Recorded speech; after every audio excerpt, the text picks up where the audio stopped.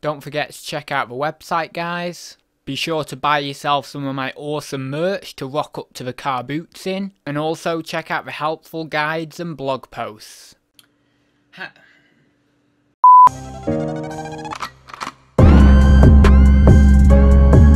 Hi guys, it's Adam and welcome to my latest auction haul. So obviously over the past few weeks I've been going through um, a few of the things that I've been picking up from my most recent auction um, and yeah I've gone through toys and books and ceramics and stuff like that. Um, I am going to have to make this my penultimate video, so there'll probably be one more video after this one. Not because I'm getting to the end of the auction haul, unfo unfortunately, but because I actually need to dedicate some time to photographing and listing this stuff, and I've just not got the time to do any more videos on it, unfortunately. I've probably got enough to do maybe another four videos on it, but I, I am going to have to sort of cut myself off there I love doing the videos on it. I love sharing the stuff with you guys.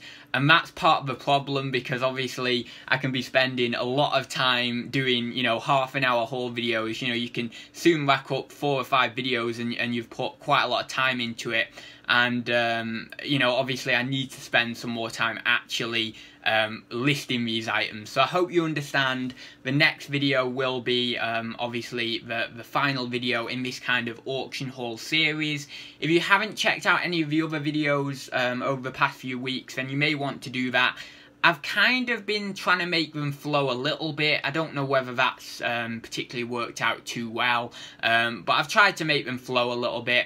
Now, in this uh, video, I've got two separate lots. So in the other videos, I've kind of done it pretty much lot by lot. Um, but when I was going through this particular box, I realised that it was like a mishmash of a few different lots. So I can't really attribute a specific lot cost to these items here but what I have done of course is done some research on eBay and I will be telling you what I hope to get back on eBay in terms of sales value from the items I've got here. We've got quite a lot of Royal Doulton stuff and it's pretty much all ceramics today. I think we've got one piece of glassware. So with that being said, we will not talk about it any longer and I will actually let the items do the talking for you. And uh, yeah, I will uh, give you a look at the first item. So, first off, we've got this uh, nice little piece of glassware here. Um, it's actually Waterford Crystal. Now, I don't know whether I've had Waterford Crystal in the past. I've certainly heard of it. Um, you can see in this little shield-style label here, it says Waterford Crystal. Uh, nice little item, this. Now, when I saw it in the box, I thought to myself, oh, it's probably just one of those standard pieces. It's probably, I'm probably going to struggle to get around a tenner for it. Um, but then I picked it up and I saw, oh, there's a bit of weight in that. It might be decent. Turned it round, saw that little sticker on there and thought, yeah, there's going to be a bit more than a tenner in it at least. So I went on eBay thinking I don't know. I, don't, I, I, suppose I was kind of thinking it would be maybe 20, 25, maybe a little bit more. But I was, I was kind of thinking, oh, I, I wonder what the value is. I'm assuming it's probably going to be around that. And uh, I look it up and I can't see it on eBay, this exact one anyway, when I typed it in. But I could see in a very, very similar style to this, um, a larger vase that was on, uh, same, obviously same company, uh, that was on for 55 quid. Now that isn't sold. And then there was like a blue um, vase. I don't know how big it was. I don't know whether it was a bit bigger than this one or similar size that had sold for 20 quid. So I'm thinking to myself, there's none of these particularly on except that larger one for 55 quid. I'm thinking of going maybe 25 quid plus my postage on this. And if I need to come down a little bit, then I'll be happy to come down. But I'd rather go in a little bit higher at first um, than I maybe was originally thinking. And uh, yeah, you know, I'll uh, go in at 25 quid plus my postage. And we will see on that one. But it's quite nice because it's a little bit better quality than some of the more standard ones that, that don't normally have a mark um, on these kind of vases. Um, but yeah, so I quite like that. It's quite interesting. So next, we've got something fairly standard here, but it's still fairly nice for what it is, I suppose. It's this like little ceramic fruit basket? I would, I would assume. Oh no, actually, it's more. Actually, yeah, it's got. I was thinking it was a fruit basket, but actually, it's probably for flowers, isn't it? I'm just thinking you probably lay your flowers in there, maybe. I don't know, I suppose you could use it for both in, in one regard, really. But, um, yeah, it just maybe actually seems a little bit low, that handle for a fruit basket or something, so it might be more for flowers. Um, but actually, this is HJ Wood Limited, Burslem, uh, England, hand-painted, you can see on the back there. Um, and, you know, a few of these uh, very similar ones have gone for around a tenner. I'm thinking on this one, because I didn't see this exact one on, I'm thinking I might go either $12.99 or $14.99 plus my postage. And if I need to come down to a tenner, then I will do. Um, but I think I've sold similar ones of these. Maybe not from the exact maker, but similar ones of these for around the $12.99 plus postage. So, yeah, you know, I'm thinking of going about around that, and uh, hopefully I should get that. But that's that one there anyway. Right, so I'll go through these kind of, I suppose they're uh, European figures. I'll go through these quite quickly. We've got maybe two or three of these. Um, I don't know who these are, whether they're meant to be anyone specific or whether they're just meant to be random figures. Um, you can see in here there's some sort of number down here. Um, now, as I say, I'm assuming that these are just sort of uh, European figures, maybe Eastern European figures or something.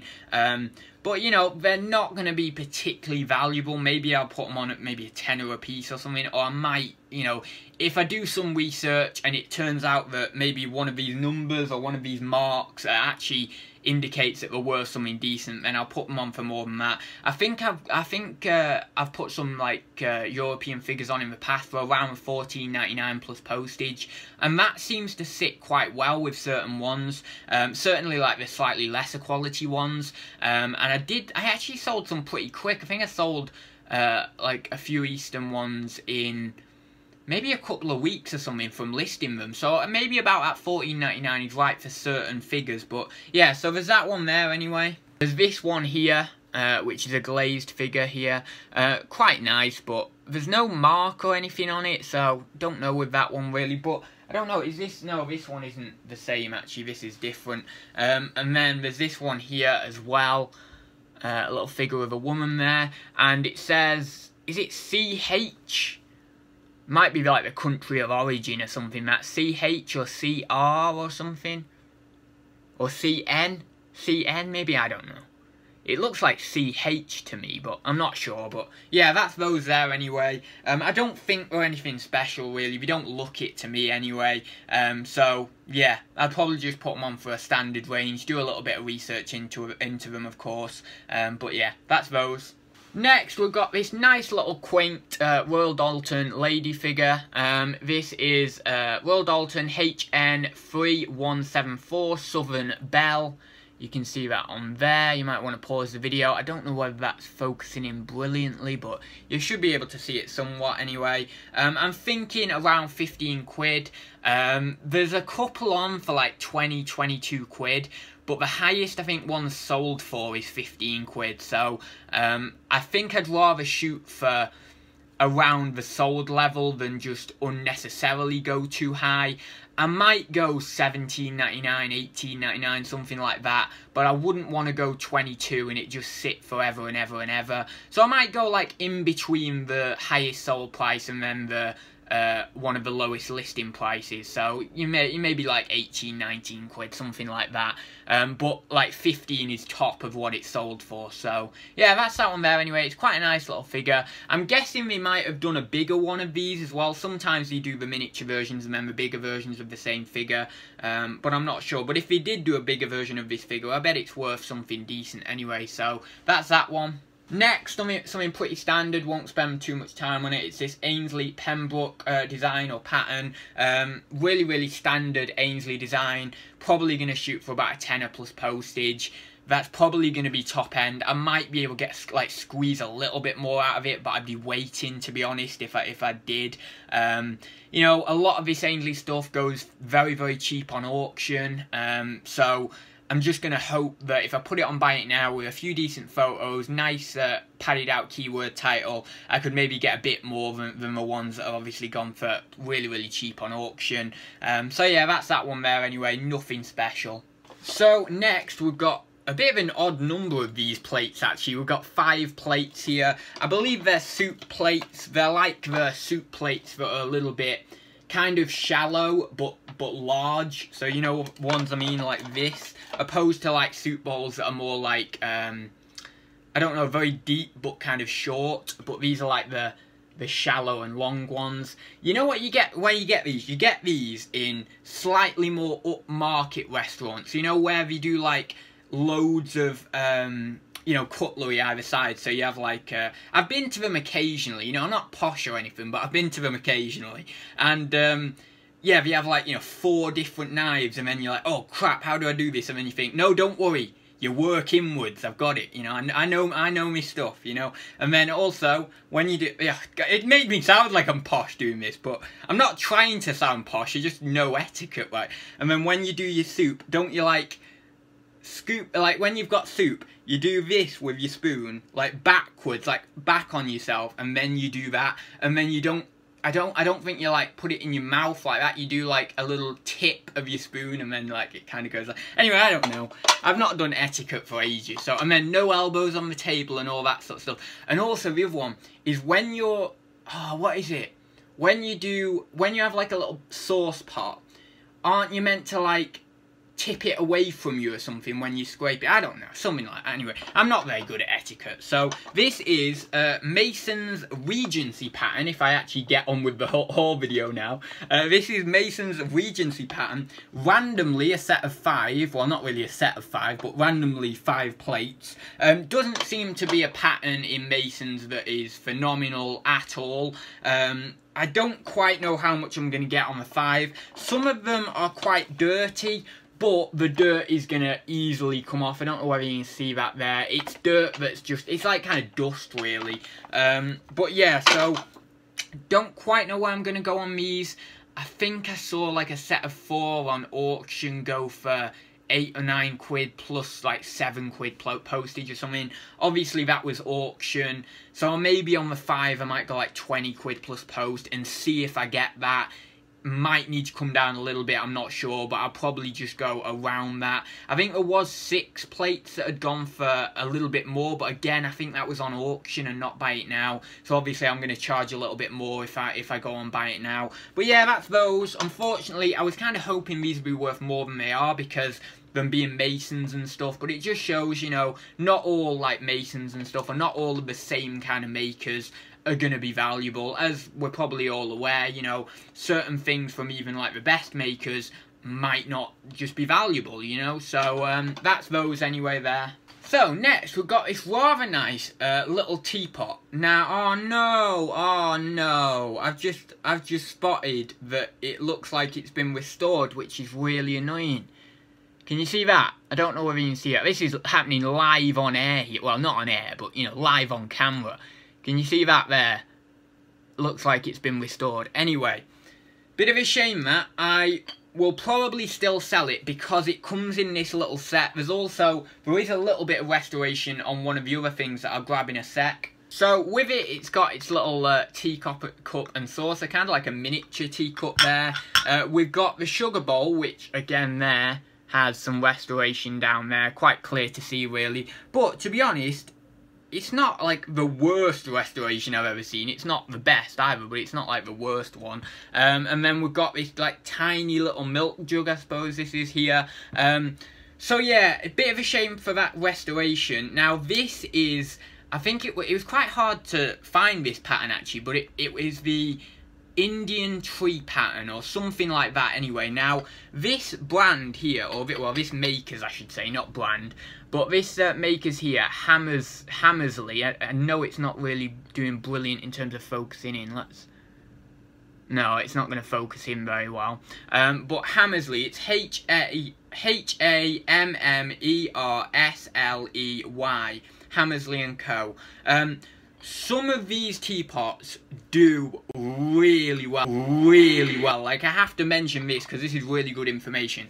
I was looking on Complete and Sold just randomly at different teapots just to try and find this set. My god, there was like one teapot that went for 100 quid, there was another one that went for like 86 quid, there was like a small little set, like one teapot and then like maybe a sugar bowl or something and maybe something else with it that went for like 239 quid. But like it was crazy. So some of this Hammersley stuff good money. I don't know whether that's just at the moment. I'm assuming maybe it's just taking off a little bit at the moment, last few years or something. I'm not sure, um, and maybe it'll kind of settle down in a few week, few years. Um, but yeah, the moment seems to be a pretty decent maker to look out for. But unfortunately, you know what I'm gonna say. This specific pattern doesn't seem to be worth a lot of money. I was hoping that this little set here, you know, the teapot, the little cup and saucer, the sugar bowl and the milk jug, I'd be looking at maybe 20 to 30 pounds, something like that back, plus my postage. But now I've seen that, and obviously that was accounting for maybe the the little bit of restoration in, in the uh, sugar pot there. But now there's also restoration been done to the teapot that I've seen. It's now making me think, should I price a little bit lower than that? So I might need to just uh, readjust my pricing on that.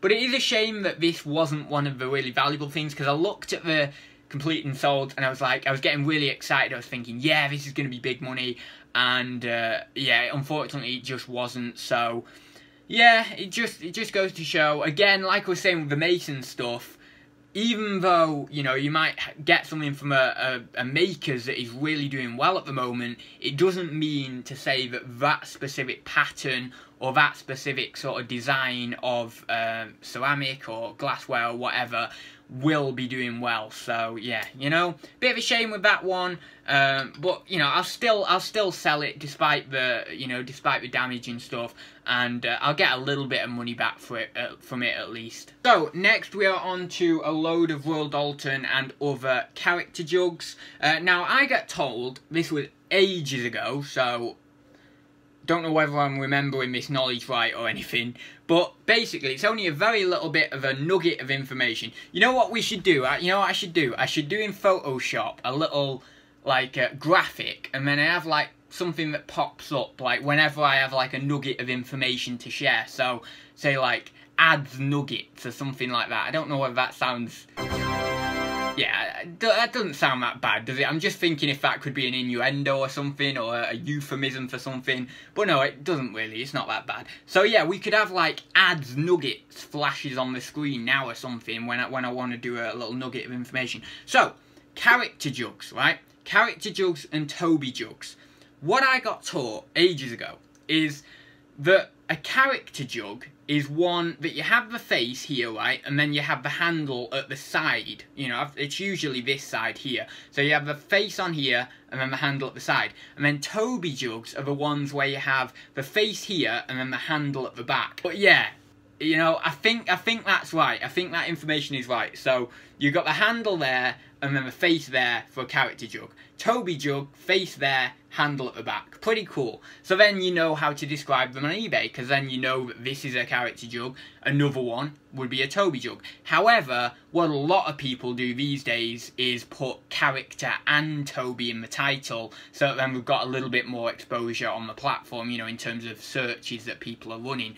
Um, so yeah, anyway, this is the Royal Doulton Gone Away D6531 um, is the number on the bottom there uh, little character jug. Now I was thinking, oh, it's a nice big jug. This might be worth about 30 quid, something like this. But when I was looking on eBay, my god, these like character jugs and stuff, I don't know whether they've gone down quite a lot in the last few years, but when I was working at the auction house, you'd get more money for for these character jugs than than these days. Like my god, it like it's ridiculous. So yeah, I don't know. Maybe we have gone down in the last year or two or something. I'm not sure. Um, but I'm going to be lucky to squeeze tw uh, 20 quid out of this guy. And as I say, it's a big character jug. It's a big old jug here. Um, and I swear, like, years ago, you could get way more than that for one of these. I mean, I don't know what the retail were on these, but they were way more than 20 quid. I could say that. So, yeah, bit of a shame that. But, yeah, to squeeze 20 quid out of him. Um, you know, if possible. There has been maybe one or two other ones that have sold for even less, so 20 quid is like the top end. Um, so yeah, that's that one there anyway. Next, we've got this guy. This is like the medium scale version of him. I think there's a larger version and a smaller version going off the information I had on solds.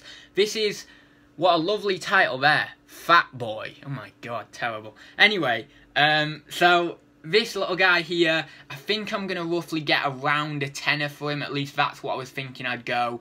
And again, it's going to be kind of one of those that I might have to wait on even for a tenner. So, yeah, I, I would have hoped there would be a bit more money in these character jugs, but alas, there just isn't. So, yeah, it's maybe one of those markets that has kind of gone downhill over the last few years or something. I don't know. People down below, maybe comment what your experiences with them are. If you've been um, involved with antiques and collectibles for the last 10 years, 20 years or so, maybe you'll know better than me what the kind of markets have been doing for these, whether, you know, over the last 10 years they have gone down quite a lot, whether they, um, you know, have always been not so great, but I swear that a few years ago these were a bit better than they are now, so, yeah, bit of a shame on that one. This one is the smaller version of that one. Say uh, this Gone Away, it's a smaller version of the Gone Away. I'm just thinking now, actually, should I maybe bundle these two together? That bit large gone away and then this small gone away. I'm not sure. But if I don't bundle it together, again, I'm probably going to try and squeeze a tenner out of this one. Um, and yeah, that'll have to do for this one, really. Um, if I bundle it up, maybe I could get a little bit of added value. If I, as I say, if I bundle the pair together. I'm not sure, but um, I'll see what I do. Maybe I'll bundle them up. But that's that one there. The uh, Jester, this is the Royal Doulton, the Jester here. Um, and yeah, it's quite a nice one, this one. Seems to go for around 15 to 20. So that's not as bad, because as you can see, it's quite small anyway for what it is. So 15 to 20 quid, I'm, I'm a bit happier with that one. Um, so yeah, 50, hopefully 15, 20 quid on that one. Uh, quite a cool one, um, you can see there. I don't know why it's worth maybe a little bit more than the other ones. Maybe it's just more appealing to people, that design, uh, the Jester design. But yeah, that's that one there anyway. And then we've got a character, Lancaster, Sadland, hand-painted Hanley, England. Uh, now, I... It, yeah, I don't know what the actual character here on this one is. It says character, and then it says the name of the company, which is Lancaster Sad, Sad, Sandland? Sandland. Um, but I just typed in like Lancaster Sandland and then Pirate and then it came up. So um, it seems that actually this one I'll be able to get between 10 and 15 for. So although it's only a very small little a little jug here, um, you know, pretty happy with that, 10 to 15 quid. So, um, because I was thinking to myself, oh, this one probably won't be worth even a tenner. So, yeah, pretty happy with that one. So I'm probably going to go, I'll either go, um, I think I'll maybe go twelve ninety nine plus postage on that, something like that. So yeah, that's that one there. So these ones are very, very small, probably not worth a lot of money at all, really. I have done a bit of research on these. There might be a couple of them I might try and squeeze a tenner free postage out of. But also there might be a couple that I might just decide to whack on auction, like starting at four ninety nine plus my postage or something like that and get them turned over quite quickly um, because these ones are just very very small ones. This is a small version of the beefeater I think there is a larger version of this one um, because I think I think I might have seen this at the auctions actually like the larger version of this one but that's that one there. These are all miniature ones of course. This is old Charlie. Um, even the larger version of this one doesn't seem to go for that much so the smaller version what the smaller version doesn't go for hardly anything. Uh, next, we've got one that I actually don't know the name of because there's no name on there. Um, maybe if I typed in A5, Royal Doulton A5, maybe something would come up for that. Um, but that's that one there anyway. Um, and then we've got uh, Rip Van Winkle. Again, doesn't seem to be much because obviously these are the miniature ones. I'm sure there are some character jugs and stuff, of the miniature ones or even of the larger ones that go for fantastic money still. Um, but the ones that we've got here today just don't seem to go for that much money. Um, but I do think that a lot of them probably aren't worth a lot of money these days. Um, so yeah, that's those there anyway. Um, I wasn't suspecting the miniature ones to go for tons of money anyway, but certainly those uh, few of the larger ones or slightly larger ones or medium ones I would have thought they might be worth a little bit more than they currently are, but that's the way it goes anyway.